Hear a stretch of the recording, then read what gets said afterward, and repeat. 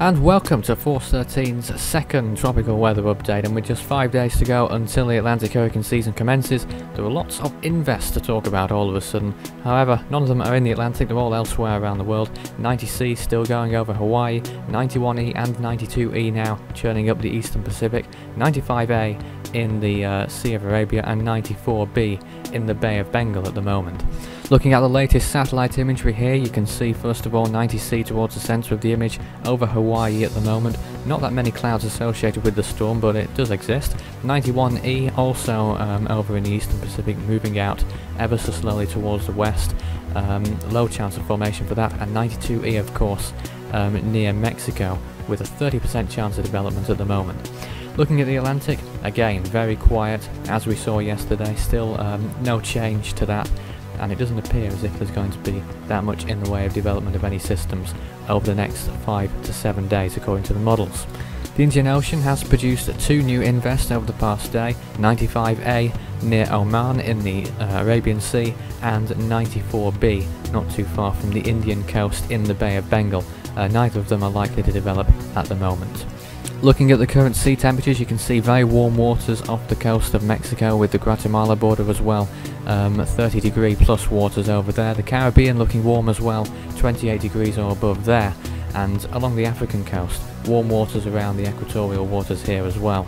Um, and looking at the Indian Ocean, red hot waters here as well, 30 degrees or above in many parts of the North Indian Ocean. Same too to the Ch uh, South China Sea as well as the Philippine coastlines as well, 30 degrees along uh, vast stretches of that. So let's look at Invest 92E, 30% chance by the National Hurricane Centre at the moment with winds of 30 miles per hour and a pressure of 1009 millibars.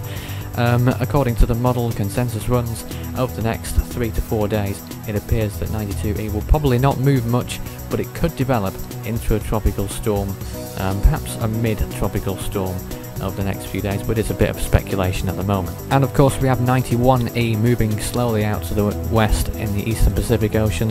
20% chance on this storm at the moment with wind speeds of 25 miles per hour and air pressure again of 1009 millibars, uh, with the forecast track expected for the storm to curve back on itself uh, pretty much and perhaps merge with what Invest 92E becomes eventually.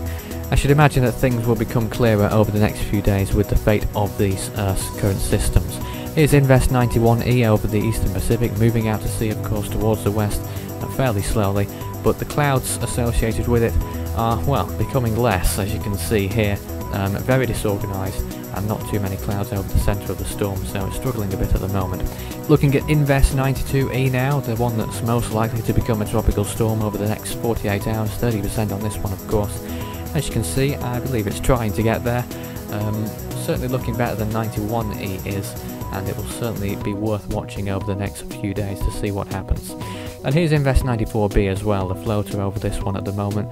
Uh, you can't see it quite so well here, but um, again, a little bit of clouds around and perhaps some development could occur over this one over the next few days but it doesn't have much room. Land is quite close to it to the, towards the north so um, if anything comes out of that it will probably be short-lived. So again let's look at the model ones here, the blue circle is probably the most interesting part of it at the moment, the CMC forecast here um, actually not predicting that much development. Um, Invest 91E is actually being predicted to develop more than 92 at the moment. Um, ECMWF predicting not much in the way of development for 92E, uh, both of them developing ever so slight from their current um, intensities but not much to shout about with that one. The GFS model, as you can see, is possibly the most aggressive um, in uh, developing Invest 92E to a tropical storm um, and possibly making landfall in Mexico a weakening tropical cyclone. The NavGem, what you can see of it at least, uh, predicts what maybe perhaps a tropical system forming towards the Mexican coast, but um, not too much towards hints of anything occurring with that one. So let's go to the predictor season table as of May the 27th and of course no storms have formed so there is no change to the leaderboard. Ken in first with 113 points, Typhoon Bobo and Theo tied in second with 106 points. Now don't forget the uh, higher position goes to the person who predicted first um, because it's all about accuracy and skill and obviously the early prediction will get the most points but only if it's correct, and of course only one or two storms have formed around the world at the moment, so things are still very much in their infancy and there'll be a lot of changes throughout the year.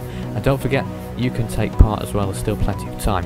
Looking at the on this day section, May the 27th, 2003, Typhoon Chan-hom dissipated in the western Pacific. Tropical, tropical storm Linfa made landfall in Luzon at the very same time, resulting in 41 fatalities.